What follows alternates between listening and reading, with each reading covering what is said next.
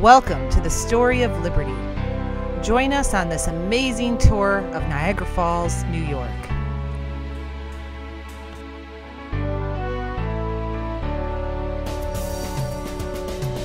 It seems very calm here, just 30 yards from the edge of the falls. We're at Luna Island. And here you can see the bridge, and then just a few feet away is the precipice of Niagara Falls.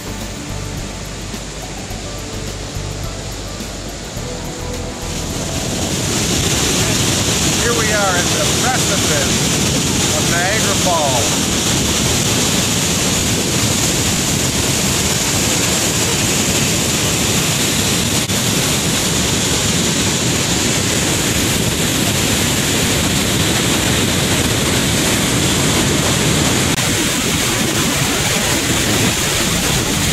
Welcome to the Story of Liberty. We're here at Niagara Falls, uh, beautiful Niagara Falls, uh, New York. Course, Canada is right there on the other side, Niagara Falls, Canada. This plaque here is uh, a dedication to uh, Louis Hennepin, who was a great missionary. In fact, most of the um, knowledge of, the, of these falls right here in Niagara Falls is because of Louis Hennepin. He traveled here in the 17th century and he spread the gospel of Christ here to the, the Indians. He was actually captured at one point and taken to what is now called the uh, Minnesota, the state of Minnesota. Uh, and uh, there, of course, Hennepin County is named after him in honor of Father Hennepin, a Catholic priest. So we see here this is dedicated to him, the man who sp- spread the gospel throughout his whole life. He was really a missionary at heart. That's what he did and he went through these. Uh, you can imagine what this was like several hundred years ago. Niagara Falls in its original state here has not changed much. But as you know, uh, this is a great story of a man who had a heart to do what the Great Commission said, to spread the good news throughout the world. That's what he did. Hennepin, uh, Louis Hennepin traveled with LaSalle, uh, the Great LaSalle. and much of this area, there are several cities here called LaSalle. Uh, they traveled together up the Mississippi River. Louis uh, Hennepin was the uh, the first white man, known white man, to preach the gospel here on the Niagara frontier, uh, and he was also the first person that could really describe Niagara Falls to the rest of the world. His description of the falls is the beginning of the story of Niagara Falls, and they have this plaque here in, in memory of him. So it's just great to be here enjoy us uh, the rest of the day uh, as we take you through some of the interesting places. The Maid of the Mist, which is a great ride here. We're going to go in some tunnels and underneath the falls. Looking forward to you joining us and staying with us at the Story of Liberty. At the foot of the horrible precipice, we meet with the River Niagara. It is so rapid above this descent that it violently hurries down the wild beasts while endeavoring to pass it. To feed on the other side, they not being able to withstand the force of its current, which inevitably casts them down headlong above 600 foot. Join us on the the Mist. Here we are. Right here, we're going to go down to the falls down here. It's about a mile ride. And uh, we're on the horn blower. Join us in the Maid of the Mist. The first voyage of the Maid of the Mist was in 1846.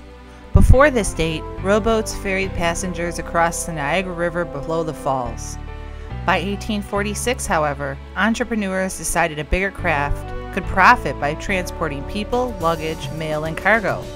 So the first Maid of the Mist steamboat, large enough to carry a stagecoach and horses, was christened. In 1848, construction of a suspension bridge curtailed business and the Maid of the Mist was rebranded as a sightseeing adventure that still operates to this day.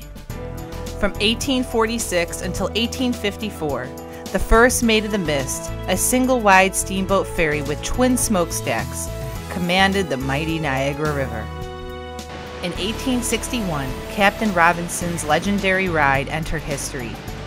Facing financial troubles and fearing the outbreak of the Civil War in the U.S., then Maid of the Mist owner W.O. Buchanan sold the boat at auction. A Montreal firm agreed to buy it if the boat was delivered to Lake Ontario.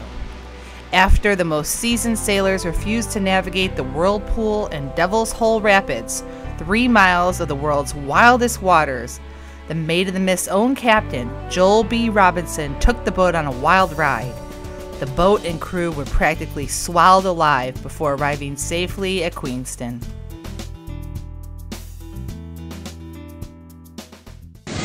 Welcome to the uh, beautiful red coach inn here Niagara Falls. My parents, uh, Frank and Nancy, actually got married here and spent their honeymoon here.